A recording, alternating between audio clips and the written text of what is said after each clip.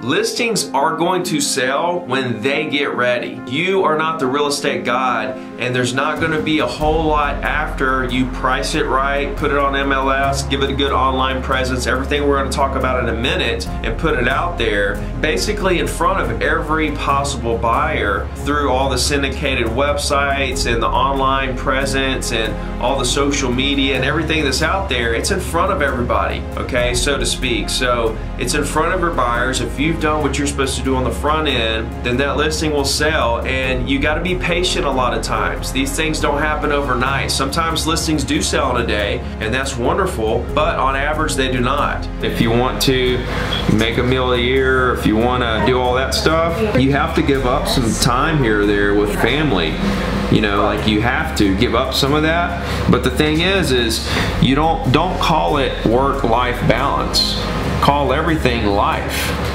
because when you're with your family, you give them 100% of you, and then when you're at work, you give that 100% of you. And so you're given everything, every little part, all you have. So now it's all work or all life, but it's all the same thing.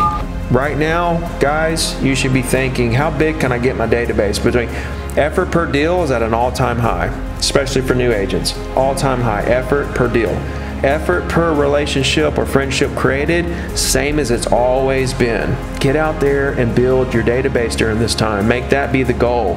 At the end of 2021, you should see a massive increase in your database. Maybe you sell more than you sold last year. Maybe you sell the same. Maybe you sell less. I don't know. I don't care. How big did we grow our database this year? Because that's going to dictate where we're going to be in the next two years. And that's what I care about. You know, just anything, anything I can do to help. Mm-hmm. Right? Right. And then also, I want you to think about that transition because you, you, you didn't hit that transition just right from them saying they're not interested to is there an agent you would work with. Like, I want you to go back and rewind this and watch this little piece.